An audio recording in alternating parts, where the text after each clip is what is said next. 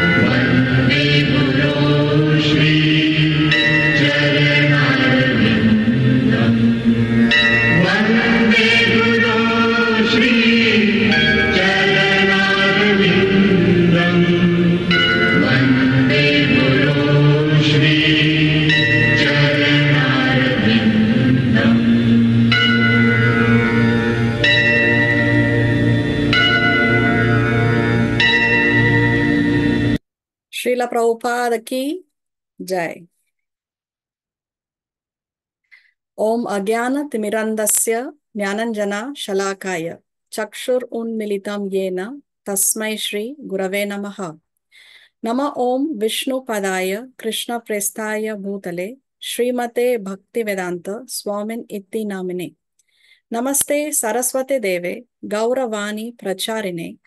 ನಿರ್ವಿಶೇಷ ಶೂನ್ಯವಾದಿ ಪಾಶ್ಚಾತ್ಯ ದೇಶತಾರಿಣಿ ಹೇ ಕೃಷ್ಣ, ಕರುಣ ಸಿಂಧು ದೀನಬಂಧು ಜಗತ್ಪತೆ ಗೋಪೇಶ, ಗೋಪಿಕಾಕಾಂತ, ರಾಧಾಕಾಂತ, ನಮೋಸ್ತುತೆ. ತಪ್ತ ಕಂಚನ ಗೌರಂಗಿ, ರಾಧೆ ವೃಂದಾವನೇಶ್ವರಿ, ವೃಷಭಾನು ಸುತೆ ದೇವಿ, ಪ್ರಣಮಾಮಿ ಹರಿಪ್ರಿಯೆ. ವಾಂಚಕಲ್ಪತರುವ್ಯಶ್ಚ, ಕೃಪಾ ಸಿಂಧು ವ್ಯ ಏವ ಚ पतितानां पावनेभ्यो वैष्णवेभ्यो नमो नमः। जय श्री कृष्ण चैतन्य, प्रभु नित्यानंद श्री अद्वैत गदाधार श्रीवासादि गौर भक्त वृंद Hare Krishna Hare Krishna, Krishna Krishna, Hare Hare. Hare Ram Hare Ram Ram Ram, Hare Hare. Please repeat after me ओम नमो भगवते वासुदेवाय। ओम नमो भगवते वासुदेवाय ओम नमो भगवते वासुदेवाय ओम नमो भगवते वासुदेवाय ओम नमो भगवते वासुदेवाय ओम नमो भगवते भगवते वासुदेवाय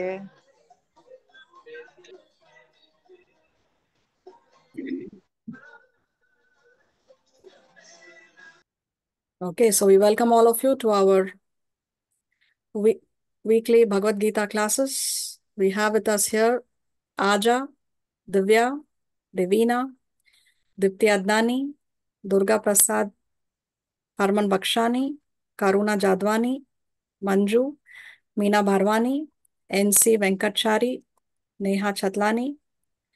Then my parents are there. Then we have Sri Hari Radha. Then we have Suhani, Vivansh, and Sandra. Okay. So, what did we see in the previous class?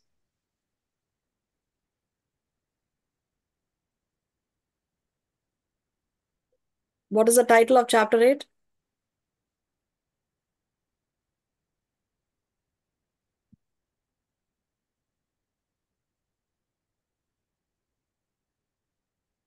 The title of chapter 8 is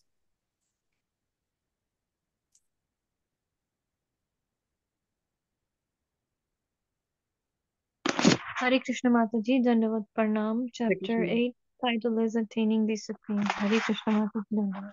Hare Krishna. Thank you. Yes, attaining the supreme.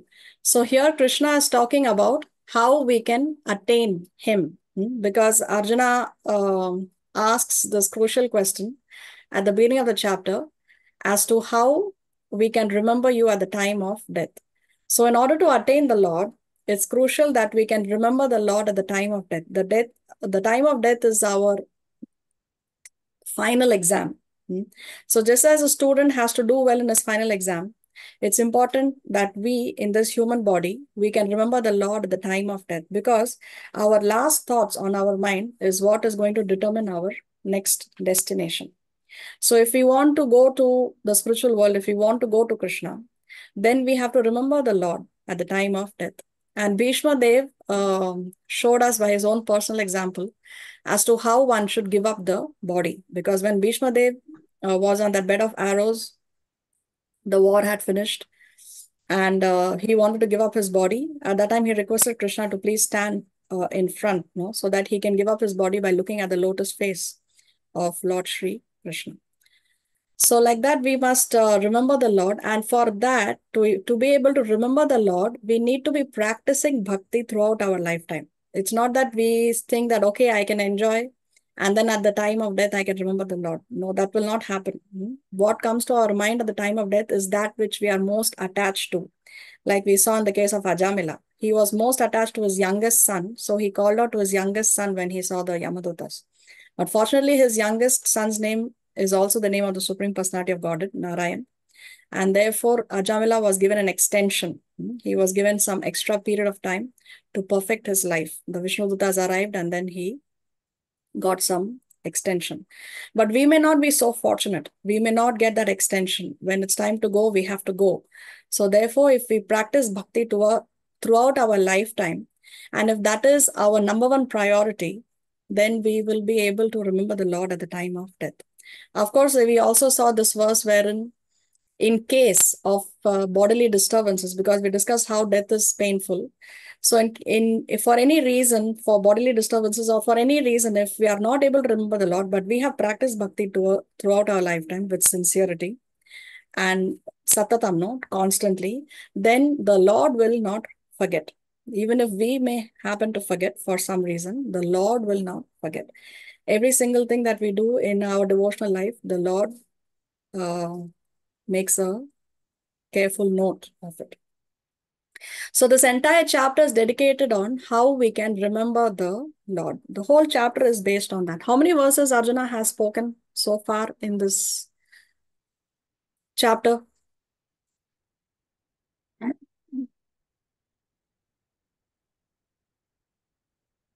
The chapter began with Arjuna asking how many questions? Seven. Uh, five, five, and then six, and then seven.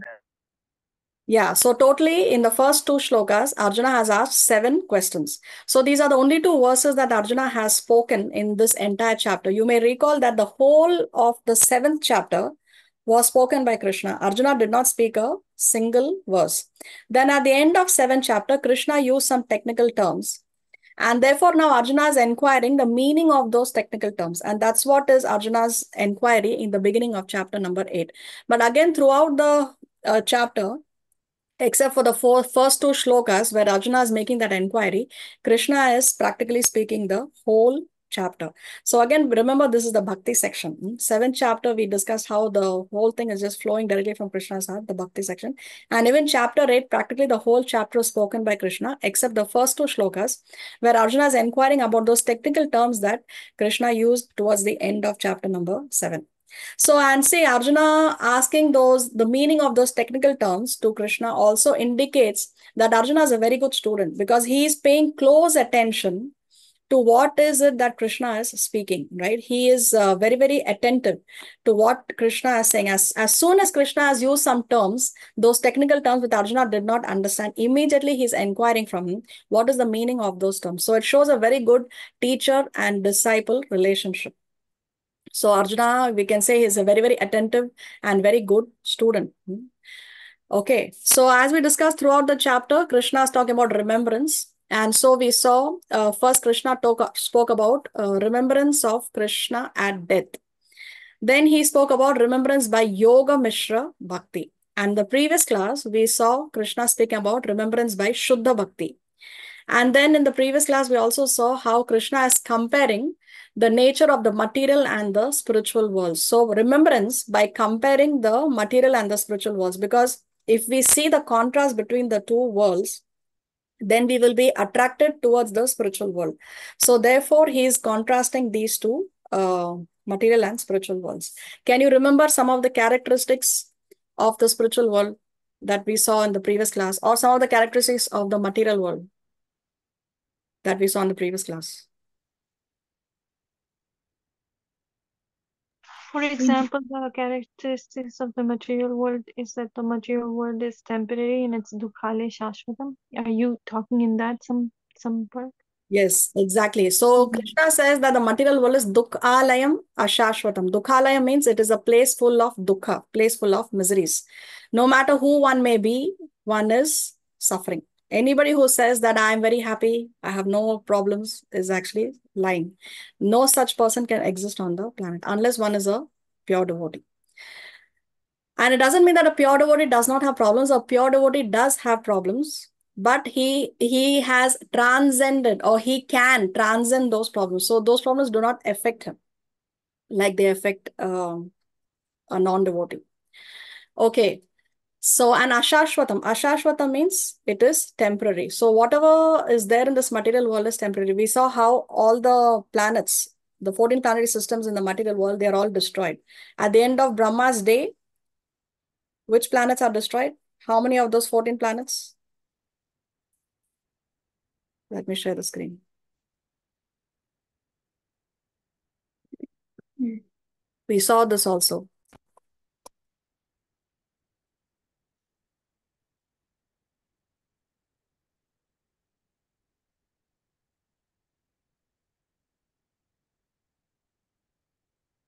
Here. So we discussed how there are 14 planetary systems within our universe. And at the end of Krishna's lifetime, all are, I'm sorry, at the end of Brahma's lifetime, all of them are uh, destroyed. And at the end of Brahma's day, there is a partial devastation. We saw how the residents of Maharloka go up to Janaloka. And from Maharloka below, all these planetary systems are destroyed at the end of Brahma's day. Maharloka is not destroyed, but it is unfit for habitation because of excess heat. Therefore, the residents shift from Maharloka to Janaloka or the higher planetary systems. Okay, what else did we see about the spiritual world? The spiritual world, we saw that there was uh it was it's not temporary, first of all, and once been gone there, then you don't have to come back or you don't have to return to this material world. And then um and so it's divine, everybody's doing service there. Yes, exactly. The um, uh, once one attains a spiritual world, Krishna says that you don't have to come back again. But material world is not like that. It is a place where there is repeated birth, death, disease, and old age. Okay. Another important point that we saw was Krishna says that the spiritual world is unmanifest. Hmm? It it's uh, one cannot with an ordinary vision one cannot see the spiritual world. Sometimes people say no. I cannot see God, so does therefore God does not exist. But there are so many things that we cannot see. I cannot even see the person who's behind the wall. So that doesn't mean that person does not exist. It's just that my vision is not good enough to be able to see the person on the other side of the wall. So the spiritual world is unmanifest to mundane eyes. Okay. And um, the material world is manifest and unmanifest. So there is repeated uh, creation and destruction of the material world. But the Lord's abode never changes like the material world. And it's also the supreme destination and a place of no return, as we already discussed. So today we will be seeing uh, from verse number 22. Here, Krishna is going to talk about how to attain that spiritual world. So long he is talking about the glories of the spiritual world by contrasting it with the material world. Now he is going to say, how can we attain that spiritual world? Okay, but before we begin, I need one volunteer to read, please. Can I, can I do? Yes, Aja. Yes, Aja. Thank you. So let's hear the shloka first.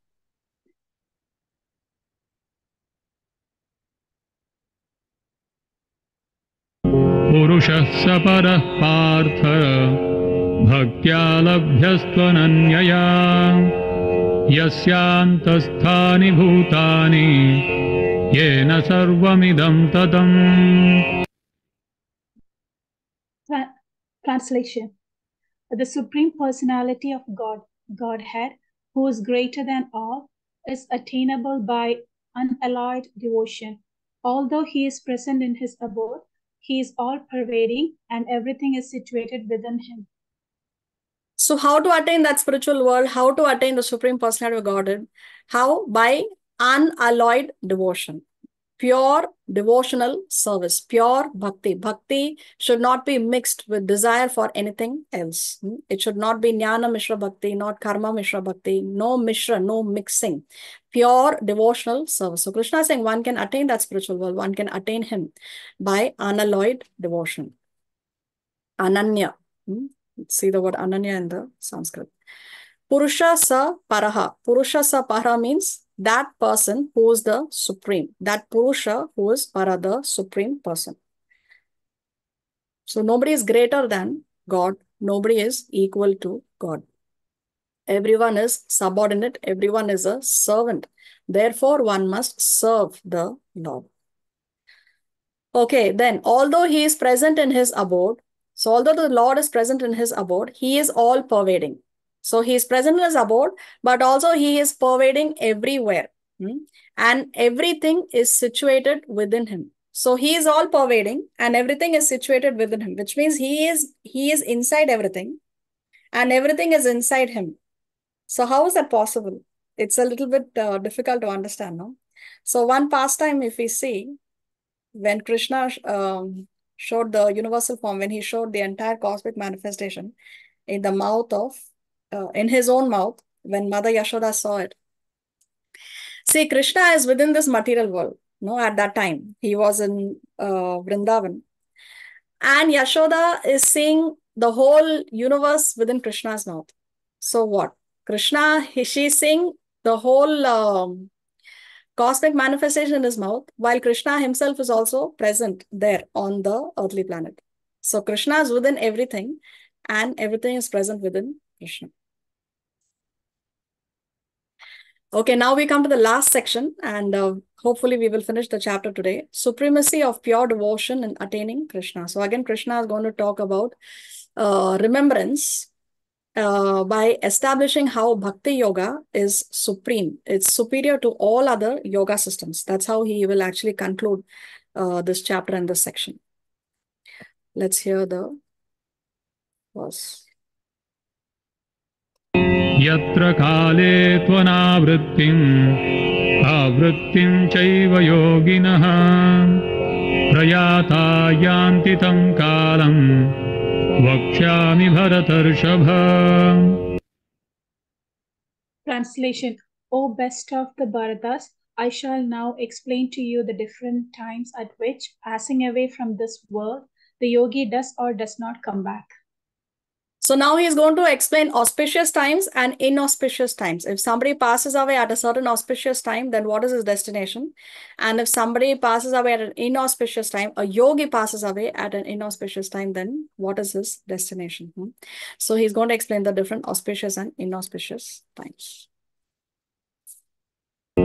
अग्निर्ज्योतिरः शुक्लः षण्मासा उत्तरायणम् तत्र प्रयाता गच्छन्ति ब्रह्म ब्रह्मविदो जनाः Translation Those who know the Supreme Brahman attain that Supreme by passing away from the world during the influence of the fiery God in the light at, a, at an auspicious moment of the day, during the fortnight of the waxing moon, or during the six months when the sun travels in the north.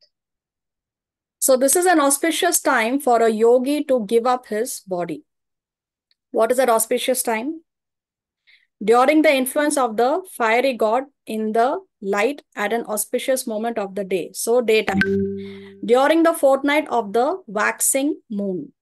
And during the six months when the sun travels in the north. So, let us see.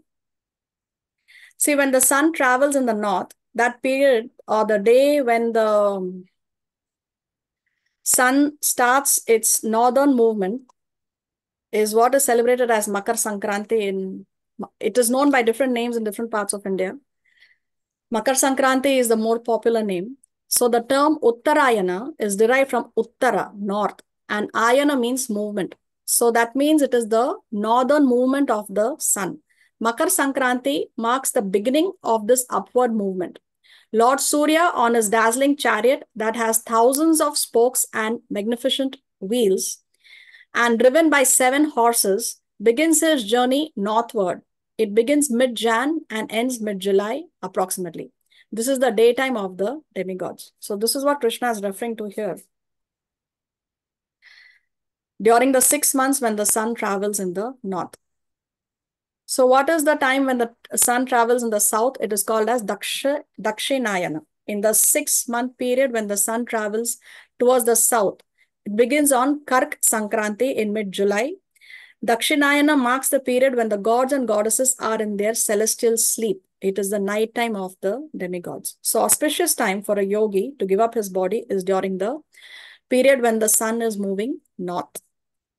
And the other factor here, it says during the fortnight of the waxing moon. Now, what do you mean by waxing moon? So we know that there are 30 days in a month in according to the Vedic calendar. So uh, here we have the new moon, the new moon or what we call as Amavasya, and then the moon starts to increase. And then after 15 days, now it is the full moon. So this is called as the period of the waxing moon. Then after full moon, then the moon starts to reduce right? This is Purnima. From Purnima, the moon starts to reduce and then again it comes to uh, Amavasya or new moon after another 15 day period. So this is the period of the waning moon. So what is auspicious is if the yogi passes away at the time of the waxing moon. So this is what Krishna is mentioning here. Hmm. So if he goes during the daytime, during the fortnight of the waxing moon, or during the six months when the sun travels north, then he can attain the supreme. Then the yogi, the, the jnana yogi, he can attain the supreme Brahman. He can attain the Brahman effulgence. This is what uh, the jnana yogi wants, and this is what he attains. See, here we have more information. The word ayana means path or going. The six months when the sun moves towards the north are called Uttarayana or the northern path and the six months when it moves south are called Dakshinayana or the southern path. These are mentioned in the Bhagavad Gita. The first day when the sun begins to move north and enter the zodiacal sign of Capricorn is called Makar Sankranti. And the first day when the sun begins to move south and enter the sign of Cancer is called Kark Sankranti. Of these two days of the year, one, on one of these two days of the year, one should perform the Shrad ceremony, which, which one does for the ancestors, right? So if you read this uh, particular chapter uh, from the fifth canto of the Srimad Bhagavatam, chapter number 21, this chapter is titled The Movements of the Sun. And uh, in YouTube, there is a channel called Bhagavat Cosmology. You can see in this channel, there are many videos where they are explaining uh, such phenomenons. Very, very interesting. And you can also read this chapter. So you can see how uh, the Bhagavatam actually states that the sun moves. But according to modern science, the sun does not move. Hmm? But Bhagavatam version is the sun moves north and the sun moves south every six months.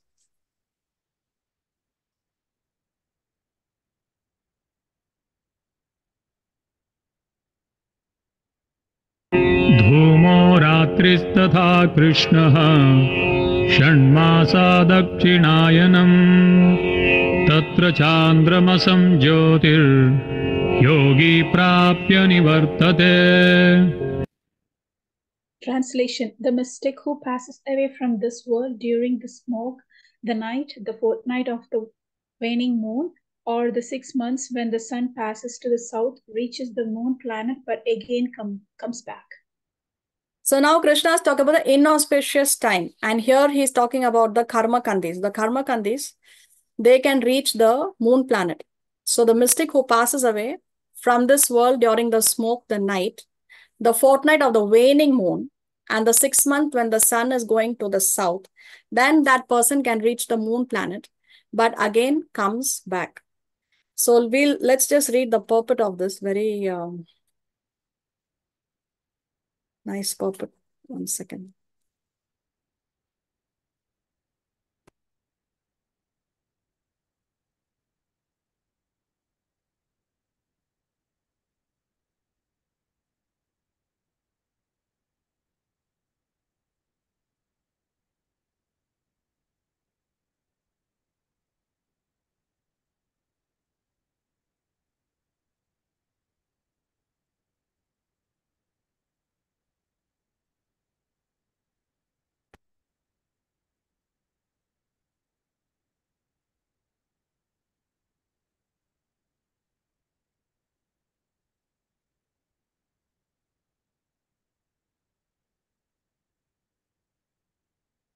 See, we'll see 24 first in the purport Srila Prabhupada writes, when fire, light, day, and the fortnight of the moon are mentioned, it is to be understood that over all of them there are various presiding deities who make arrangements for the passage of the soul. So all these personalities mentioned here, fire, light, day, and fortnight of the moon, they're all different personalities. hmm? And they are handing over the yogi from one to the other. Like how, for example, you have this uh, train, the train is moving from one station to another station, and every station has its station master that ensures the smooth uh, passage of the train from that particular station. No? So you have the station master in charge of the different stations. So like that, these are different deities who are in charge of the smooth passing of that particular soul. So they are making arrangements for the sm smooth passage of the soul. At the time of death, the mind carries one on the path to a new life. If one leaves the body at the time designated above, either accidentally or by arrangement, it is possible for him to attain the impersonal Brahma Jyotir. Mystics who are advanced in yoga practice can arrange the time and place to leave the body. So if one is, is uh, advanced in the yoga practice, then the mystic yogi, he can time his uh, time, his leaving the body so that his leaving the body is at an auspicious time. Okay. But others who are not so advanced, then others have no control. And if by accident they leave at an auspicious moment, then they will not return to the cycle of birth and death. So others who are not so advanced, then they have to depend on uh, at what time death is going to happen. So by accident, if they happen to leave at this auspicious time, then Srila Prabhupada says, then, then they will not return to the cycle of birth and death. But otherwise, there is every possibility that they will have to return. However, for the pure devotee in Krishna consciousness, there is no fear of returning, whether he leaves the body at an auspicious or an inauspicious moment, by accident or by arrangement. Because remember, for a devotee, a devotee is under the uh, direct uh, protection of Krishna. So it doesn't matter whether he goes at an auspicious or inauspicious time, because he is a pure devotee, everything is going to be auspicious for him. He does not have to worry about what time he is going to pass away. And the next one also we will see. Here Srila Prabhupada writes, in the third canto of Srimad Bhagavatam, Kapila Muni, Kapila Muni mentions that those who are expert in fruitive activities. So we discuss we discussed how this is for the karma kandis, those who are expert in uh, karma kanda activities, fruitive activities, and sacrificial methods on earth attain to the moon at death. These elevated souls live on the moon for about 10,000 years by demigod calculation. So um, the karma kandis, they can go to the higher planetary systems.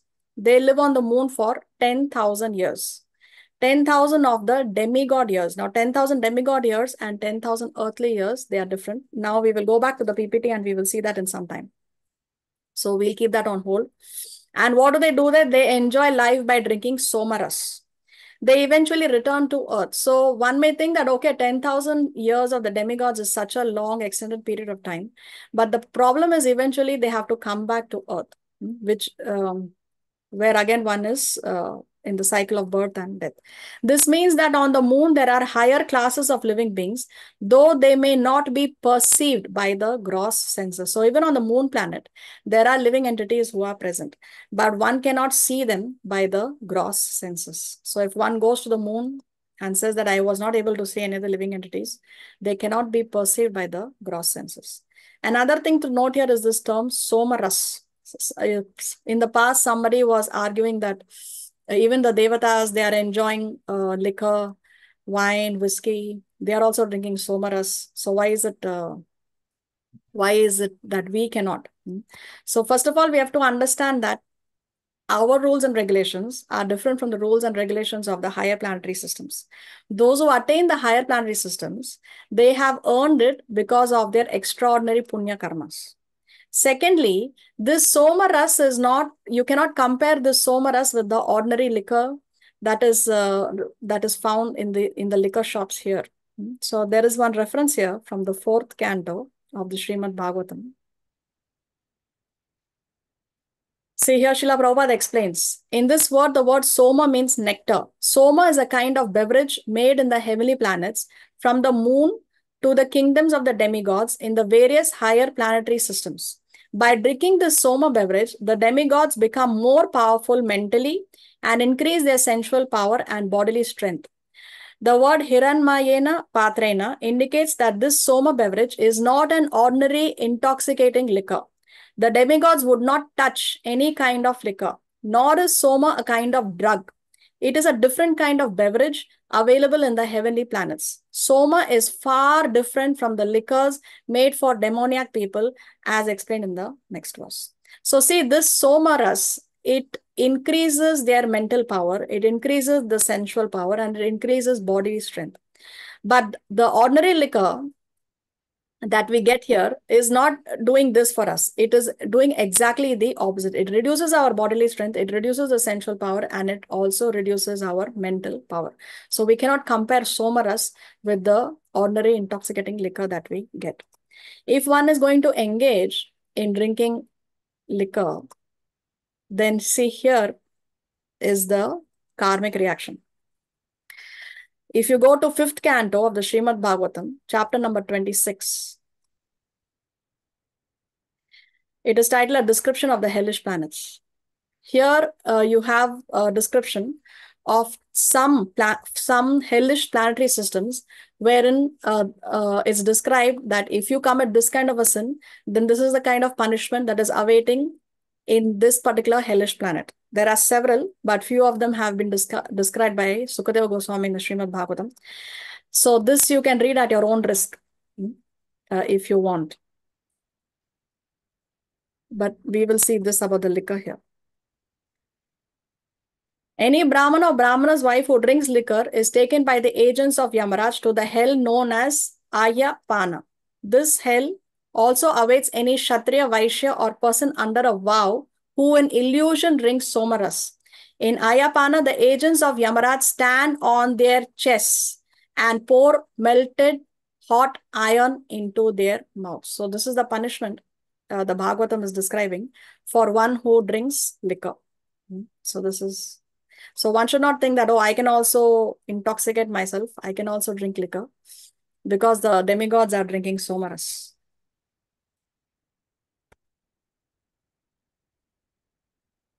Let's come back to our PowerPoint. Okay. So here is a calculation of the earthly years and the demigods. 12 hours of the demigods is our six months. So 100 years of the demigods is 36,000 earthly years. And 12,000 years of the demigods is 4,320,000 years. Hmm. So this is the calculation of the demigod years versus our years. So for 10,000 years, 10,000 demigod years, this karma kandi can enjoy in the moon planet, but then eventually he has to come back. That's the point. See here, coming back to the point that the sun moves, contrary to what the modern scientists believe. There is also evidence in the Brahma Samhita The sun, who is the king of all the planets, full of infinite effulgence, the image of the good soul, is as the eye of this world. I adore the primeval Lord Govinda, in pursuance of whose order the sun performs his journey, mounting the wheel of time. So the sun performs his journey, which means the sun is on a journey. The sun moves, and he is moving in accordance to the uh, instruction of Lord Govinda. Govinda, of course, is the name of Krishna. And there is an entire chapter in the fifth canto of the Srimad Bhagavatam. Ah, this I already uh, mentioned, the movements of the sun. Chapter number 51, canto number 5. You can read that also. Can, I, can you identify which temple is this?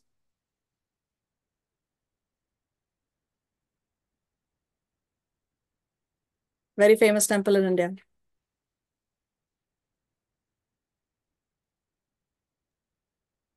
The Sun Temple? The Sun Temple? Yes, the Sun Temple in Konark. So if you see this uh, structure that was built, it was it was also built by our ancestors, where the temple was designed as a gorgeously decorated huge chariot mounted on 24 wheels and pulled by seven mighty horses. So our ancestors had information that the sun does move. Therefore, this temple was designed in such a way. 24 wheels and pulled by seven mighty horses. And also we know that Surya Dev has a charioteer. Who's the charioteer of Surya Dev?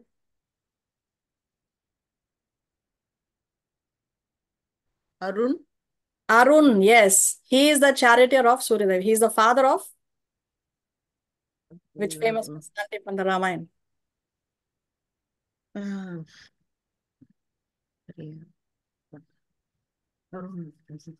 Who gave up his life to save Sita from Ravan? Jatayu. Jatayu, yes. He is the father of Jatayu and Sampati.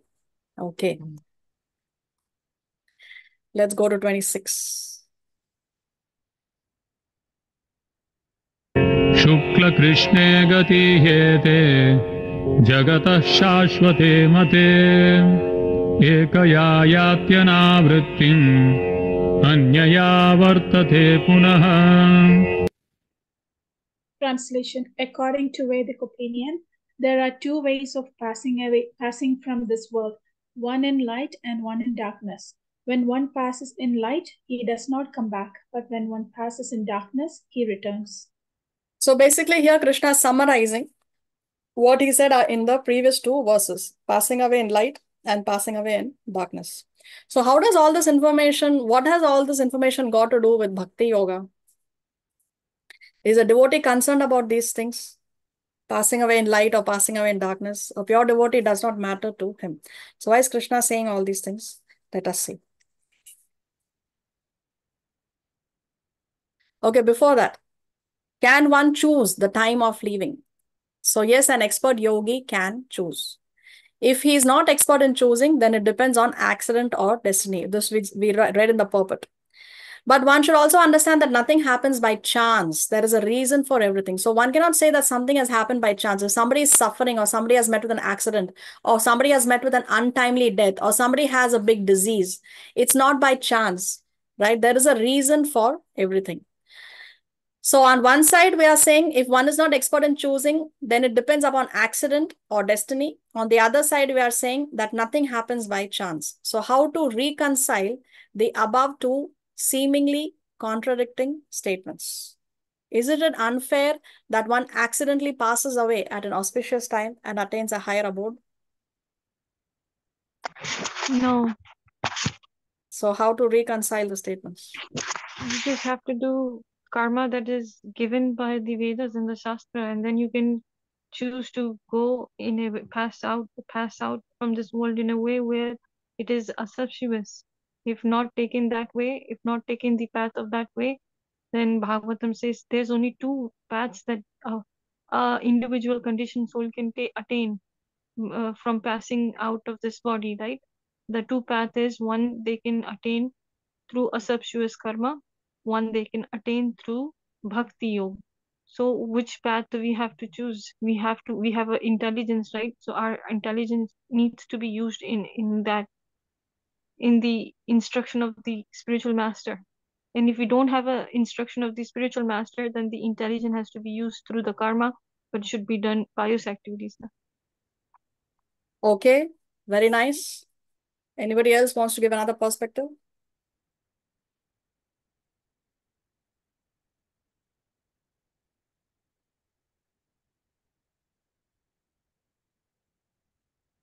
One example of this accidental is again in the story of Ajamila. He didn't have the intention of chanting the name of the Lord, right? His intention was that he is calling out to his son. But because his son's name is Narayan, no, the Vishnu Dutas appeared and he got an extension. So, like that, as a special case, one may accidentally pass away as a special mercy of the Lord. Because remember, the Lord uh, is above rules and regulations. He can override the rules. He is the one who makes the rules. Okay. So, therefore, uh, there can be, um, by some special arrangement, somebody may accidentally pass away um, at an auspicious time. Now, if one plans to leave his body at an auspicious time, will he attain a higher destination? If one plans to, okay, I'm going to give up my body, commit suicide at an auspicious time. This is the time of the waxing moon. This is the time of Uttarayan, daytime. Then will you get a higher destination? No, no. I Because don't think Krishna so. is saying it in the Bhagavad Gita. Then a suicidal, you become Brahma Rakshas or you become ghosts. So no, you cannot because that's not the Vedas does never Veda and spiritual master never approves that because after initiation your body belongs to the spiritual master and the service to Krishna, and before initiation your body uh is um is um dedicated to you know either Maya or your parents or your family or your work or your karma. Yeah, so the body does not belong to us. The body belongs to Krishna. Post initiation or pre initiation, the body still belongs to Krishna because if it was not for Krishna, we would have not got the body. Remember, we discussed creation in the previous class.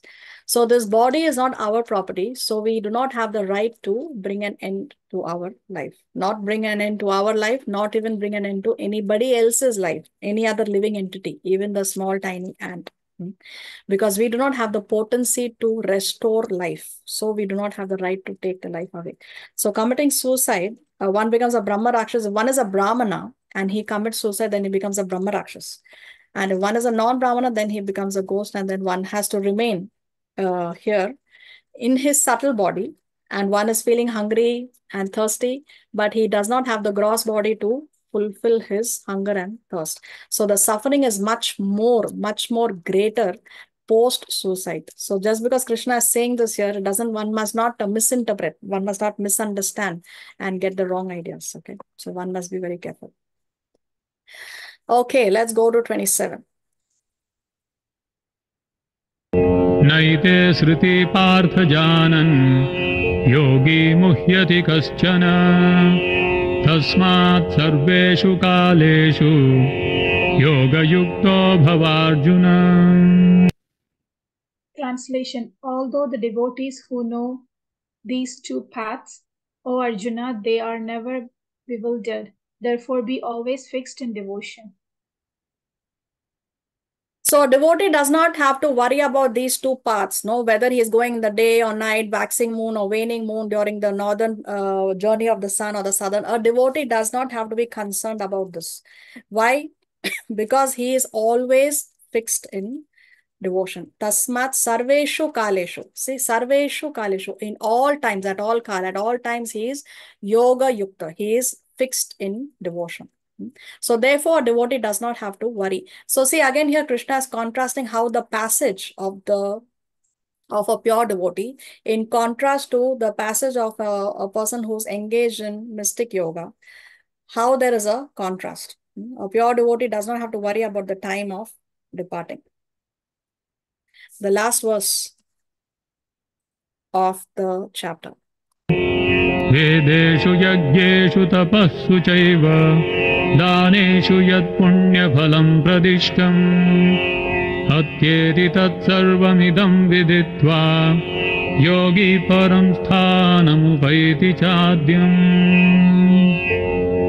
ॐ तत्सदिति श्रीमद्भगवद्गीतासूपनिषत्सु ब्रह्मविद्यायां योगशास्त्रे श्रीकृष्णार्जुनसंवादे अक्षरब्रह्मयोगो नाम अष्टमोऽध्यायः Translation. Good morning. Pers- Can, can I continue? Let's begin by offering our respects to Oh, the second. founder Acharya of ISKCON, His Divine Grace, A.C. Bhaktivedanta Swami Srila Prabhupada. The recording has stopped, is it?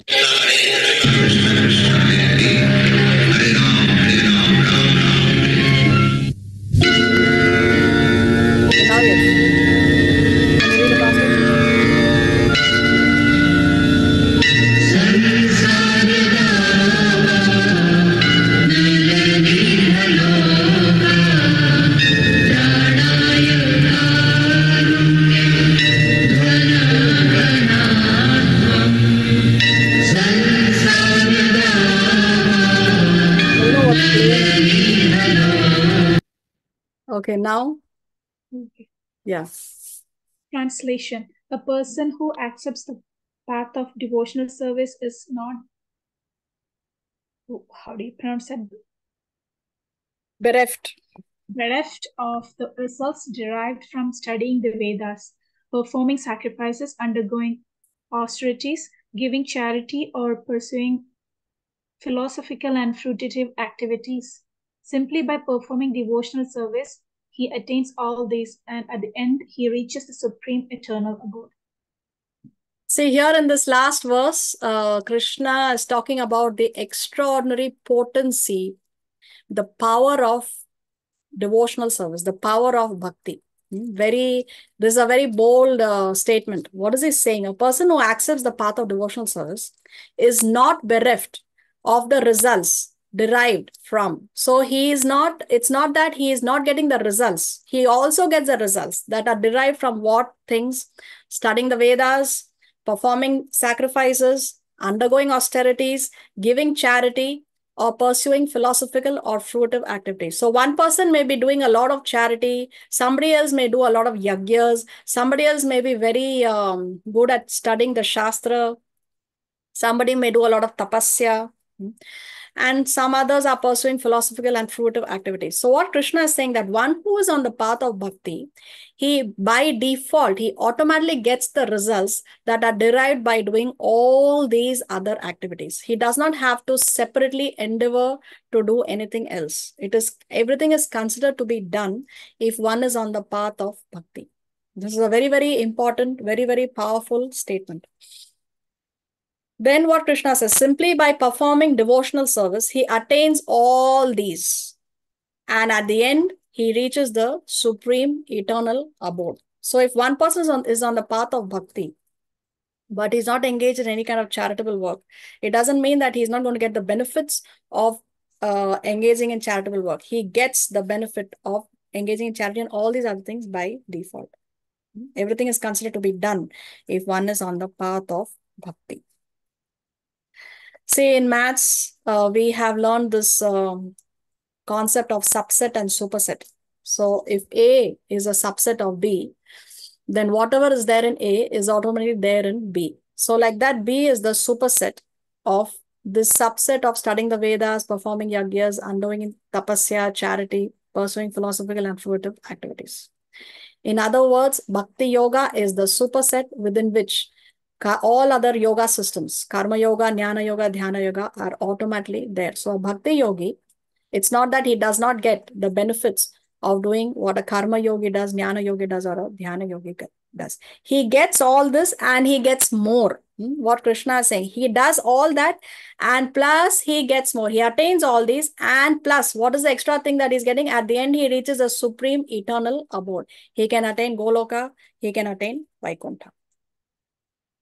So when, when uh, of course, when Krishna uh, is making such uh, statements, he also has to substantiate, um, giving the reasons why and how.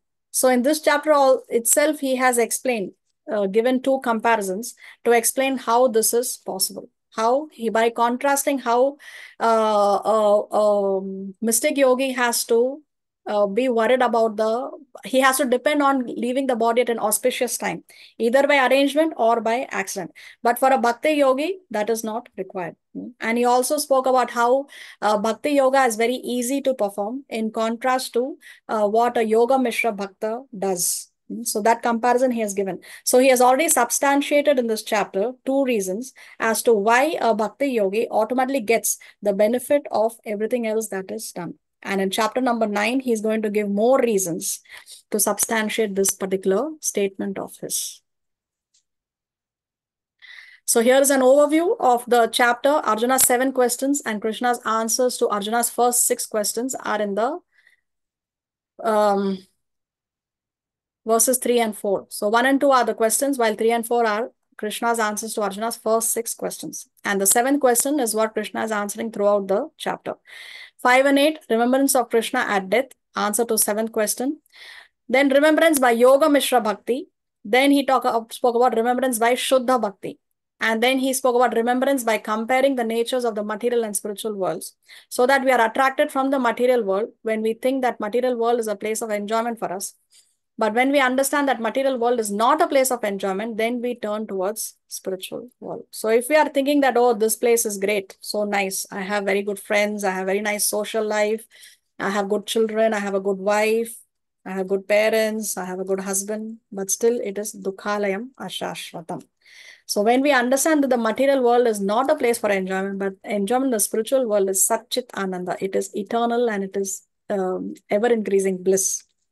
Then we will turn our uh, attention and work towards attaining the spiritual realm. And finally, in the last section, which we saw today, remembrance by Bhakti Yoga is easier than by Ashtanga Yoga. Uh, we don't have to worry about um, giving up the body at, a, at an auspicious or inauspicious time. So here you can you can read this uh, verse by verse summary when I share the slides in the class.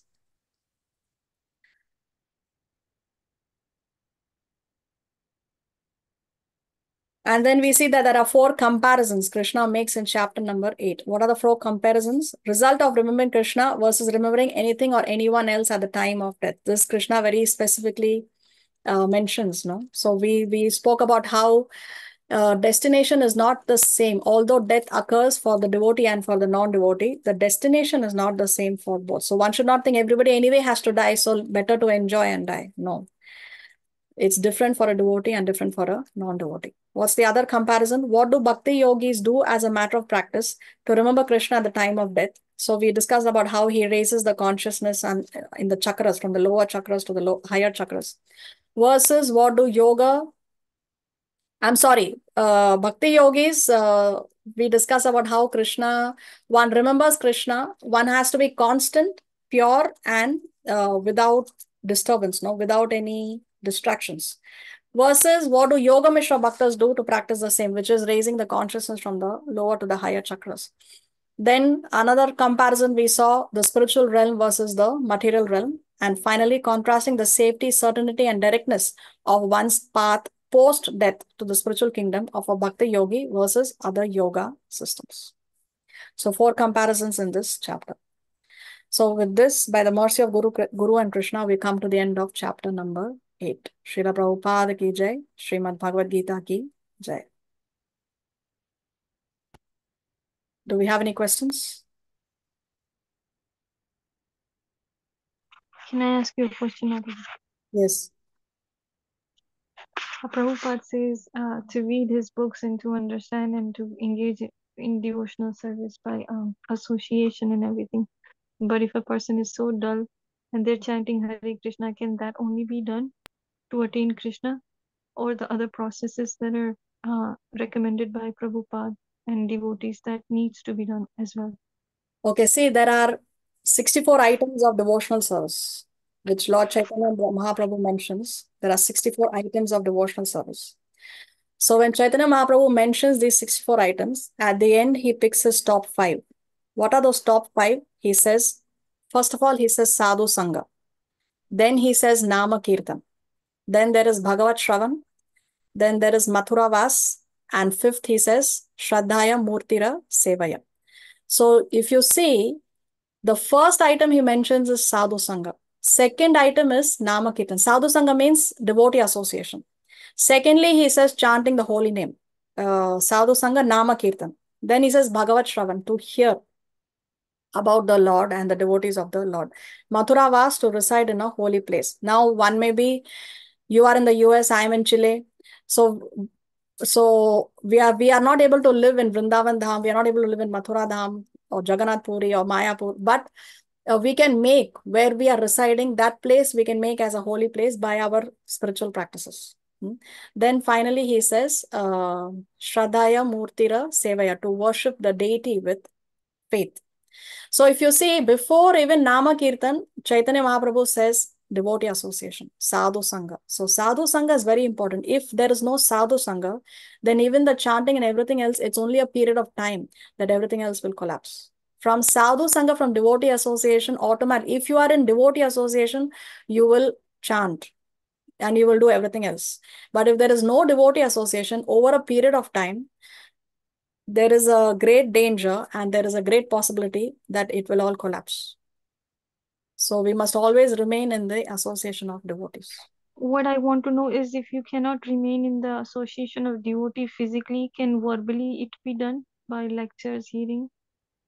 Yes, if you're in a situation where you cannot have physical association because maybe you're in an isolated place or whatever, you can get association by hearing online classes, YouTube, so many other ways are there. But whenever there is an opportunity, opportunity to have um, association, physical association, then you take the opportunity and you take the opportunity. Don't let it go. But if it's, see, if you can't do the best, then you do the next best. What else can Thank you you, Mataji. Very nicely explained. Hare Krishna, Dandavat Pranam, Jai Shri Prabhupada. Hare Krishna, thank you. Uh, I have a question.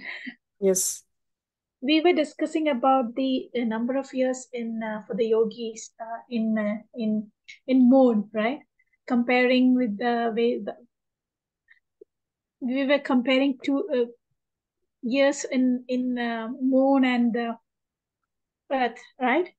Yes. So and we so they we said it's ten thousand years they will live there, right? Yes. Uh, Vedic years. Okay. Then sorry. Demigod years. demigod years. So can we compare that to Brahma's Brahma's so does do they come back only after when the next life starts? Oh No, they come back after they finish 10,000 years, yeah, so but 10,000 demigod years. Brahma's is much greater than that. didn't okay, okay, Okay. okay. So demigod years and earthly years is a different uh, calculation, and Lord Brahma's years and earthly years is a different calculation. Okay. Brahma's is much greater than that of uh, If. I want to compare that, uh, I just have to take all the materials that you have and just do it.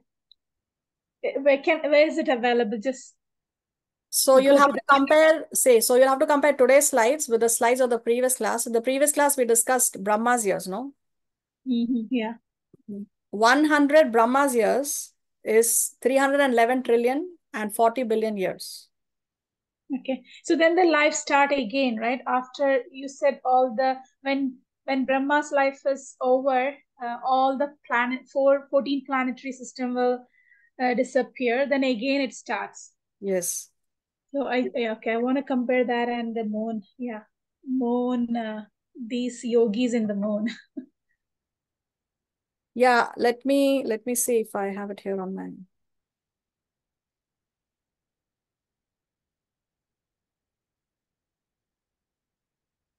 Yeah, see, 100 years of demigods is earthly years, 36,000 years. But 100 years of Lord Brahma is 311 trillion and 40 billion years. okay. Okay. So, Okay. What else?